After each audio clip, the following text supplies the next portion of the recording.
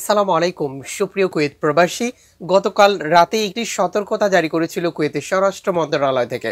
বলা হয়েছিল যে কুয়েতে বৃষ্টির কারণে জলাবদ্ধতা বা গাড়ি দুর্ঘটনার ঘটনা ঘটতে পারে।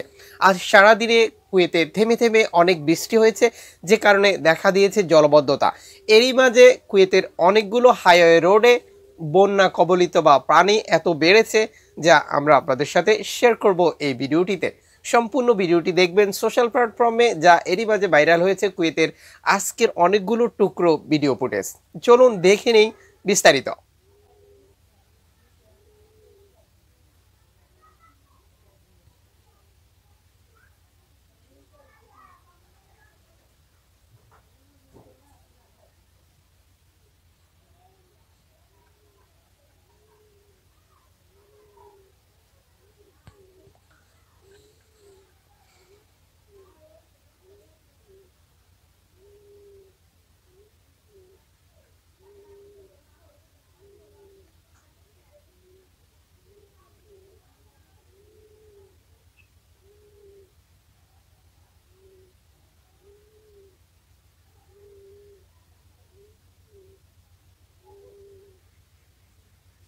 বিওয়াস ভিডিও ফুটেজটিতে আপনারা দেখতে পাচ্ছেন যে হাসাবিয়াতে আজ অনেক বেশি জলবদ্ধতা সৃষ্টি হয়েছে, যেটি সম্পূর্ণ বাঙালি অধ্যাসিত এরিয়া বলে আমরা জানি।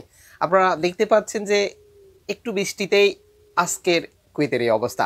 যদিও কুয়েতে বৃষ্টির প্রবণতা লক্ষ্য করে যে ম্যানহোলগুলি দিয়ে পানি যায়, সেগুলো অনেক রক্ষণাবেক্ষণ করা হয়েছিল।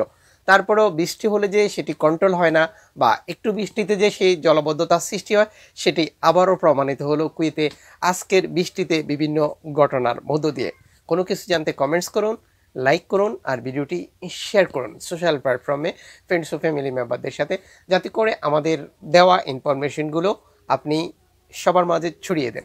এবং এই ধরনের ইনফরমেশন প্রতিনিয়ত এই চ্যানেলটি থেকে দেখতে আমাদের চ্যানেলটি সাবস্ক্রাইব করে পাশে থাকা বেল আইকনটি বাজিয়ে রাখুন, যাতে করে আমরা নতুন কোনো ইনফরমেশন শেয়ার করলে আপনি নোটিফিকেশনটি সবার আগে পেয়ে যান।